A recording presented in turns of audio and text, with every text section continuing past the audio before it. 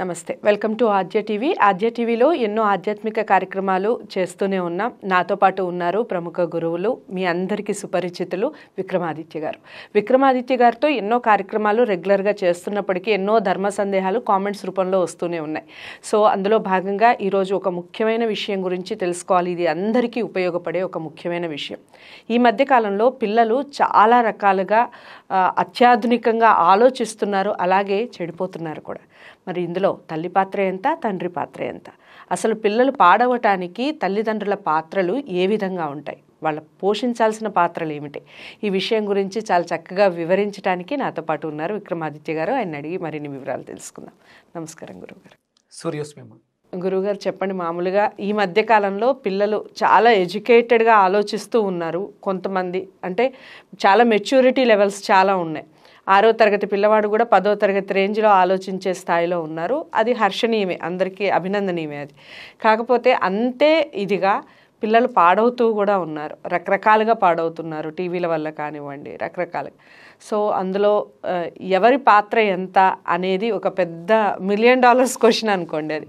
అంటే యాక్సెప్ట్ చేసేవాళ్ళు యాక్సెప్ట్ చేస్తున్నప్పటికీ తల్లిదండ్రుల విషయానికి వస్తే వాళ్ళిద్దరూ కూడా పోట్లాడుకునే స్థాయికి వచ్చేస్తూ ఉంటుంది. నీ వల్ల అంటే నీ వల్లే పాడైపోయారు. సో అసలు ఎవరి పాత్ర ఎంత పిల్లలు పాడవటానికి వాళ్ళు బాగుండాలంటే అసలు వాళ్ళు చేయాల్సిన పనులు ఏమిటి? దానికి సంబంధించి చెప్పండి. ఇది చాలా క్లిష్టతరమైనటువంటి ప్రశ్న. చాలా దారుణంగా ఉన్నటువంటి పరిస్థితులు కాబట్టి. మీరు వెస్ట్రన్ కల్చర్ పాశ్చాత్య దేశాల్లో చాలా ఫ్రీడమ్ ఉంటుంది. అక్కడ ఇక్కడ ఎవరిని తప్పుపట్టడానికి లేదమ్మా. తల్లిని తప్పుపట్టలేము తండ్రిని తప్పుపట్టలేము. ఆ వ్యవస్థ అలా ఉంది. పిల్లల వ్యవస్థ అంటే పిల్లలు పుట్టినప్పటి నుంచి సెవెన్ ఇయర్స్ వరకు అంటే మగపిల్లవాడైతే సెవెన్ ఇయర్స్ వరకు ఆడపిల్ల అయితే సిక్స్ ఇయర్స్ వరకు. ఇప్పుడు కూడా సైకిల్ చేంజ్ అవుతుంటుంది ఏడు పద్నాలుగు ఇరవై ఒకటి అమ్మాయి ఆరు పన్నెండు పద్దెనిమిది. అంటే పన్నెండేళ్ళ వరకు ఆడపిల్లకి ఒక టైప్ ఆఫ్ స్ట్రక్చర్ మానసిక వ్యవస్థ ఉంటుంది. ఏడు ఏడు పద్నాలుగేళ్ళ వరకు అబ్బాయికి. ఇక్కడ కఫం ప్రకోపించడం వల్ల ఈ వ్యవస్థలో ఇబ్బందులు వస్తాయి. ఓకే. పుట్టినప్పటి నుంచి. కఫం తలకెక్కింది అంటారు కదా. పైత్యం తలకెక్కింది అంటారు ఇప్పుడు చెడుగా చేస్తే పైత్యం. తలకెక్కింది. అంటే తలలో పైత్యం ఉండడం వల్ల కఫం ఉండడం వల్ల ఆలోచన విధానం డిఫరెంట్గా ఉంటుంది. ఇక్కడ ఈ కఫం అనే దాని గురించి మనం మాట్లాడుకున్నప్పుడు వాతం పిత్తం కఫం మనకి తీసుకునే ఆహార పదార్థాల తాలూకు తత్వాలు. తల్లి శరీరం నుంచి తండ్రి శరీరం నుంచి ఒక జెనెటిక్ తీసుకుని ఒక బాడీ తయారవుతుంది వీళ్ళిద్దరికీ సేమ్ వీళ్ళిద్దరికీ ఉన్నట్టే ఆ బిడ్డకు ఉండాలని లేదు తల్లిది వాతపిత్త కఫం అవుతుంది తండ్రిది కఫం వాతం పిత్తం అవుతుంది ఇక్కడ బిడ్డది పిత్తం వాతం కఫం అవుతుంది. ఏది ఎలా ఉన్నా చిన్నప్పుడు బాల్యంలో మాత్రం కఫం అధికంగా ఉంటుంది. అందుకని వాళ్ళకి ఎక్కువ జలుబు చేయటం దగ్గు రావటం వామిటింగ్స్ అవటం ఇలాంటివి అన్నీ మనకి కనిపిస్తూ ఉంటాయి. ఓకే. అంటే కఫ ప్రభావం అధికంగా ఉంటుంది. అది బ్రెయిన్ ఎక్కువ షార్ప్గా ఉంటుంది. ఈ సందర్భాల్లో ఇక్కడ తల్లిదండ్రులు అనేవాళ్ళు హండ్రెడ్ పర్సెంట్ ఇప్పుడు యూట్యూబ్ ప్రభావం అధికంగా ఉంది. Cell phone. దీని ప్రభావం ఇది? అధికంగా ఉంది. అది తల్లిదా ఫోన్ తండ్రిదా అనేది మీరే నిర్ణయించుకోండి. ఓకే. అసలు వాళ్ళిద్దరిది కాకుండా పిల్లలకు ఒక ఫోన్ కొనిస్తున్నారు. అంటే తండ్రి కొనిచ్చాడా? తల్లి కొనిచ్చిందా? లేకపోతే తాత కొనిచ్చాడా? ఆలోచించుకోండి. ఎవరో ఒకళ్ళు అయితే ఫోన్ కొనిచ్చారు. దీని ప్రభావం అధికంగా ఇప్పుడు ఎక్కడైతే చూపించకూడదో అక్కడే దాని ప్రభావాన్ని అధికంగా చూపించేస్తుంది కాబట్టి ఇప్పుడు ప్రభావం ఎక్కువ సెల్ ఫోన్లో ఉంది. ఓకే. అలాగే వీళ్ళకి ఇచ్చే ఆహారాల్లో మీరు పిత్తాన్ని అధికంగా ఇచ్చేటువంటి ఆహారం. ఇప్పుడు ప్రెగ్నెంట్ అయ్యి డెలివరీ అయిన తర్వాత ఆ తల్లి ఫీడింగ్లోంచే ఈ బిడ్డ అంతా కూడా ఫీడ్ చేస్తూ ఉంటుంది. ఫీడ్ చేస్తూ ఉంటుంది రీడ్ చేస్తూ ఉంటుంది తయారవుతూ ఉంటుంది ప్రమోట్ అవుతూ ఉంటుంది. ఇక్కడ ఆ తల్లి ఏదైతే చేస్తుందో చూస్తుందో తింటుందో అది ఆ బిడ్డ రూపంలో అలా తయారవుతుంది. ఒక స్టేజ్ వచ్చింది. ఇక తర్వాత అనుకరణ. తండ్రి అంటే బయటకు వెళ్ళి వచ్చేసిన తర్వాత ఆ- తండ్రి ఆ బిడ్డని ఎత్తుకుని ఆడిస్తూ మాటలు చెప్తూ ఇవన్నీ చూపిస్తూ ఇక మనం ఏమైతే చూపిస్తామో అలా తయారవుతుంది. అంటే పాత్ర అంటే ఇది అనుకరణ వస్తువు కాబట్టి ఇప్పుడు ఒక రోబో ఎలా అయితే ఉందో ఈ బిడ్డ కూడా అలాగే ఉంది. ప్రతిదాన్ని రీడ్ చేస్తుంది. అనుకరణే. పిల్లలు ఎప్పుడూ కూడా ప్రతిదాన్ని అనుకరిస్తూ ఉంటారు నేర్చుకుంటూ ఉంటారు. ఓకే. వాళ్ళు కూడా ప్రిపేర్డ్గా ఉండరు. అంటే మనకు ఒక సామెత ఉంటుంది. ఆవు చేలో మేస్తే దూడ గట్టున మేస్తుందా అని. సేమ్. మీరు మీరు మీ అనుకరణ ప్రవర్తన మీ బిహేవియర్ ఇవన్నీ బాగున్నప్పుడు ఆ ప్రభావం బిడ్డ మీద హండ్రెడ్ పర్సెంట్ ఉంటుంది. మీరు ఇది సెల్ అని ఇచ్చిన తర్వాత అది సెల్గానే ఉంటుంది. మీరు అలవాటు చేయండి.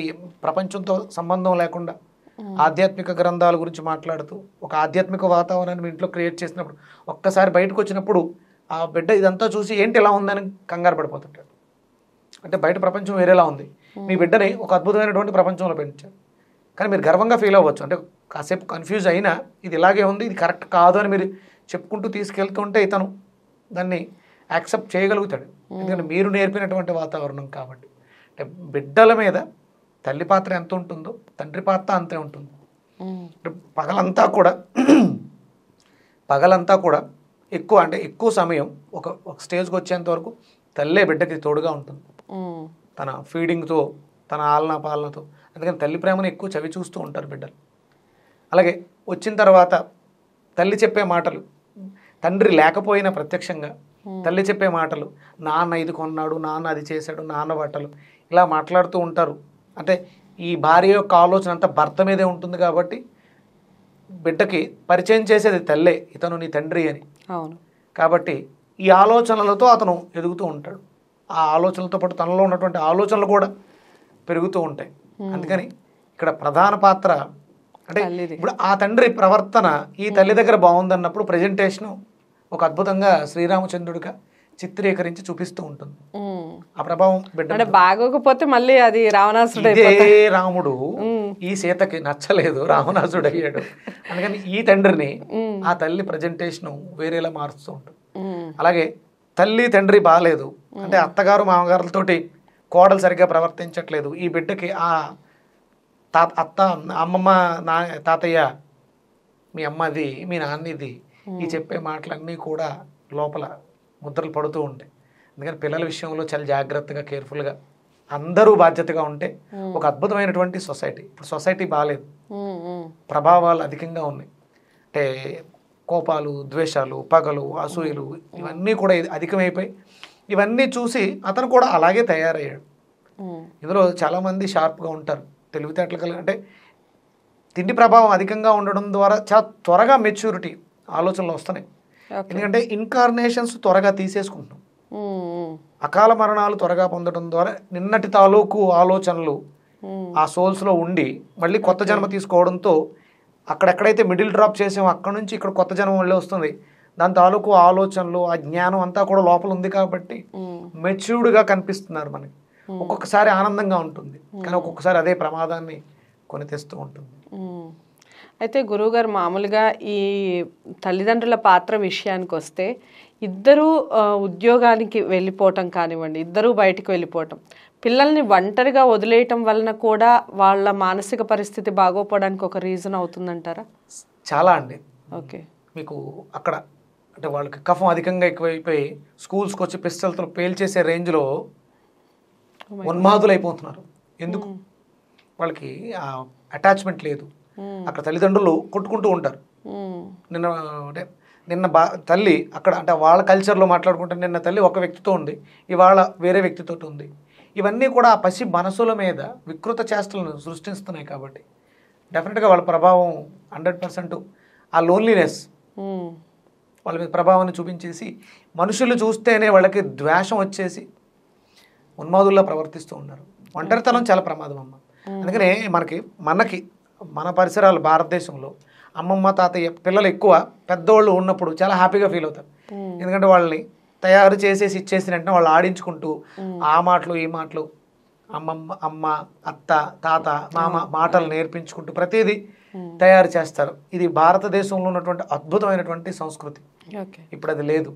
తల్లి తండ్రి ఉద్యోగాలు వీళ్ళని తీసుకెళ్ళేదో చైల్డ్ కేర్స్ వాటిలో వాడేస్తున్నారు. అవును. ఇక్కడ అవి మనం చాలా వీడియోస్లో చూసాం. దారుణంగా ప్రవర్తిస్తూ ఉంటారు. వీళ్ళ అల్లరిని బరలించాక విపరీతంగా కొట్టేయటం. దారుణమైన పరిస్థితి. మరి ఈ ప్రభావం ఆ పిల్లల మీద. ఎంతవరకు చూపిస్తుందంటారు? సో అయితే ఇద్దరిని వేరువేరుగా చూస్తే తండ్రి తీసుకోవాల్సిన మెయిన్ జాగ్రత్తలు ఏమిటంటారు పిల్లల పట్ల? రెస్పాన్సిబిలిటీ తండ్రికి అధికంగా ఉంటుందన్నమాట అంటే ఇప్పుడు ఇప్పుడు మనం ఇప్పుడు ఇద్దరు సమానమే ఇక్కడ. స్త్రీ కూడా బయటకు వెళ్ళి పనిచేసి సంపాదిస్తుంది కాబట్టి ఇక్కడ వేరు వేరు కాదు. ఇద్దరికి ఆ ప్రభావం అధికంగా ఉంటుంది. ఆ బాధ్యత అనేది ఇప్పుడు సరిసగం సమానంగానే ఉంటుంది. అంటే చాలా దౌర్భాగ్య అయిన పరిస్థితులు ఏంటంటే ఈ కోవిడ్ ఎఫెక్ట్ వల్ల చాలా మంది తండ్రుల్ని కోల్పోయారు పాపం. ఇక ఆ బాధ్యత అంతా కూడా తల్లే తీసుకుంటుంది. ఇక్కడ ఆహారం మాత్రమే చాలా ఇంపార్టెంట్. ఇప్పుడున్నటువంటి ఉన్మాద స్థితిలో ఉన్నారు పిల్లలు. అలాగే ఒంటరితనం చిన్నప్పుడే వాళ్ళ మీద బాధ్యతలు అధికంగా పడిపోవడంతో. ఇప్పుడున్నటువంటి పరిస్థితిలో సత్వ తమో రజోగుణ ప్రధానమైనటువంటి ఆహారాల్లో తమో రజోగుణాన్ని ఎక్కువ ఇష్టపడుతూ ఉన్నారు. సత్వగుణాన్ని చాలా తక్కువగా తీసుకుంటున్నారు. ఆ తల్లి తన బాధ్యతగా సత్వగుణ ప్రధానమైనటువంటి ఆహారాన్ని అధికంగా పిల్లలకి ఇస్తూ మనం చెప్తున్నాం. సొసైటీకి అవసరం పచ్చి అరటికాయ కర్రీ. వాళ్ళలో ఆ గుణాన్ని తగ్గించడానికి గురుబలాన్ని పెంచడానికి వాళ్ళ జీవితాల్లో మంచి మార్పు రావడానికి మనం వండే ఆహార తల్లి వండే తన వంట చేసే ఆ చెయ్యే ఆ ఆ బిడ్డకు వడ్డించే ఆ చెయ్యే ఆ బిడ్డలో అద్భుతమైనటువంటి మార్పును తీసుకొస్తుంది. అందుకనే టీవీలు చూస్తూ వంట చేయకండి ఫోన్లో మాట్లాడుతూ వంట చేయకండి. ఇవన్నీ ఎందుకు చెప్తారంటే మీ చెయ్యి చాలా పెద్ద అస్త్రం అమ్మ. ఒక అద్భుతమైనటువంటి రాముడి తయారు చేస్తుంది. మీరు వండేటప్పుడు మీ మనో భావాలు ఏవైతే ఉన్నాయో అవి వంటలోకి వెళ్ళే అవకాశం ఉంది. అది తిన్న బిడ్డలలో ఆ ప్రవర్తన వచ్చే అవకాశం ఉంది. మనకి భీష్ముడి గురించి తెలుసు కదా? భీష్మ పితామహుడు అంటాం కదా? శ్రీకృష్ణ పరమాత్మ అంటే ఆయన కోరుకున్నారు భీష్మ ఏకాదశి రోజు నేను పరమపదించాలి నా జీవితాన్ని తేయించాలి అద్భుతం. ఆయన నోటంటూ వచ్చినట్టు విష్ణు సహస్రనామార్చన భగవంతుణ్ణి ప్రత్యక్షంగా ఎదురుగుండా నిలబెట్టుకుని ఉమ్, స్తుతించినటువంటి ఆయన మహాపురుషుడు ఆయన విష్ణు సహస్రనామార్చన ఆయన చూస్తూ శ్రీ మహావిష్ణువునే శ్రీకృష్ణుడి రూపంలో చూస్తూ పఠించారు. ఎందుకు ఇలా ప్రవర్తించావంటే నేను కురుల కౌరవుల చేత వంట తింటున్నాను నేను అలా ప్రవర్తించకపోతే ఎలా కృష్ణ అని అడిగాడు ఆయన. కానీ మనసు మాత్రం దైవ చింతనలో ఉంది. ఉమ్, శరీరం తిండి తింది కాబట్టి ఇలా ప్రవర్తించింది?